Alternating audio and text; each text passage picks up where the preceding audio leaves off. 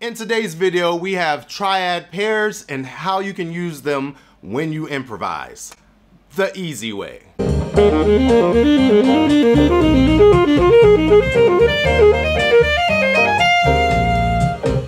So in today's video, I'm going over triad pairs and how you can use them when you improvise, in particular, what chords to use them on when you do so. And additionally, I'm going to have a bunch of patterns uh, to go over that you can check out both on my website, www.demarius.com. And while you're there, be sure to check out all the other free stuff. I have a tons of things from previous videos that you can download, uh, hopefully to help you out in your playing. And if you like content like this, consider subscribing, leaving a like, and commenting, and doing all of that stuff. And without further ado, here we go. So the most common triad pair combination I would say is probably major triads that are a whole step apart. So for this video, I'm going to be using an F major triad and a G major triad. So for the very first example, which I'll have down here, all I'm simply doing is playing those two major triads, F and G, in root position, for both, and then I'm going to play first inversion, second version, third inversion, and repeat with root. So simply put, all I'm doing is playing one, three, five of F, F, A, C, and G, G, B, D, and then I'm playing 3, 5, 1 of both, and then 5, 3, 1 of both. Here's a little bit of what it sounds like. And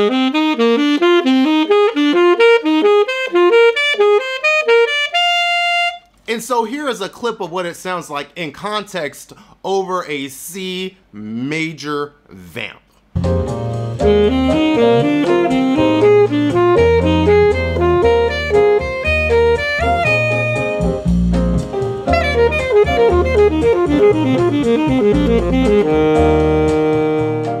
So that example, like I said before, was a C major vamp. You can also use the same triad pair of F and G over a D minor vamp.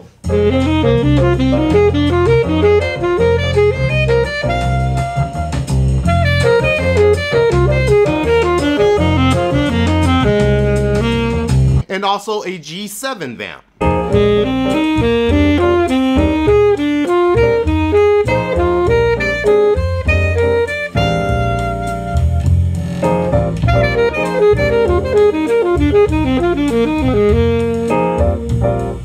So essentially, you can use this over any mode of C. So let's simplify that even more. A 2-5-1 in the key of C, the 2 you have a D minor 7, which like I said, you can use F and G, and then a G7, the G dominant, you can still use F and G, and then C major, you can use F and G. So essentially, you can use that whole triad pattern and any of the patterns that I'm gonna play later on in the video over the entire 2-5-1 sequence. So let's hear what that sounds like. Here's example number one over a 2-5-1 and key of C, or my C pattern. Here it is.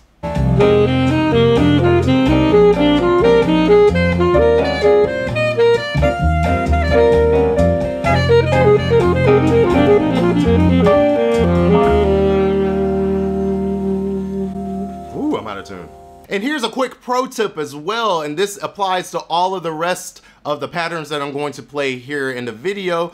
Practice these patterns backwards as well. So example number one would sound a little bit like this.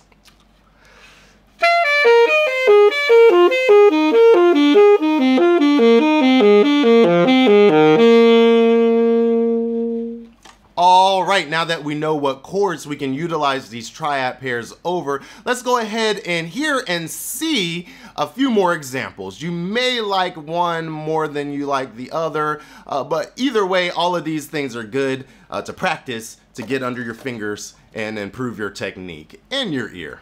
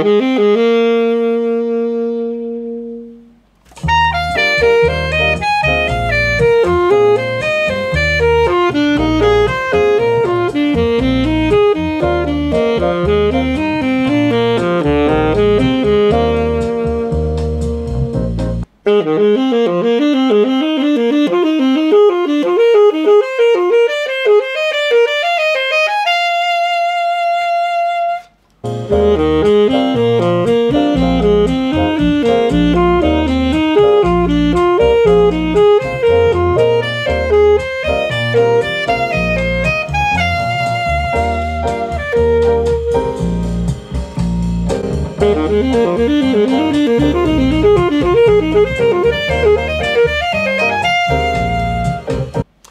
right, I hope you like those examples. Here is one more that I really, really enjoy. It has more of an outside sound and you can be creative in where you use this. But this is going to be a triad pair that's separated by a tritone.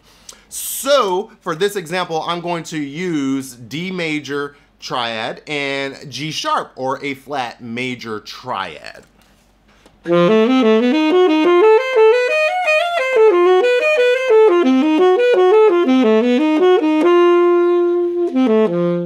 So that particular triad pair, uh, the triads being separated by a tritone, works really, really well over a Lydian dominant 7th chord, or simply put, a dominant sharp 11 chord. So what I'm going to do for you to hear this one in context, we're actually going to play uh, There Will Never Be Another You. Try to listen throughout the tune and see if you can pick out where I utilize that triad pair sequence. Here we go. A one.